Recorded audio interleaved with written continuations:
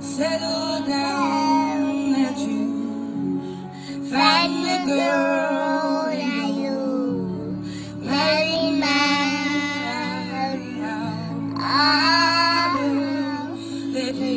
James,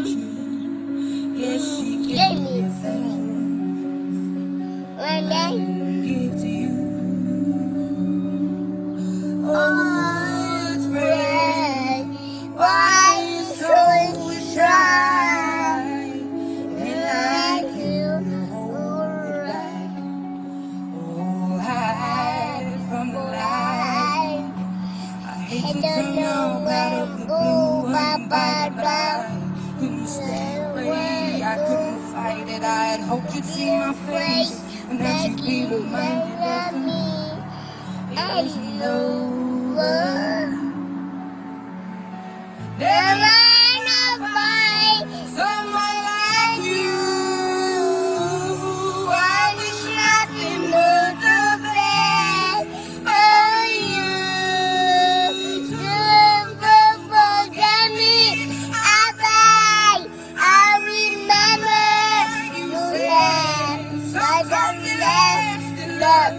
so try to hold instead.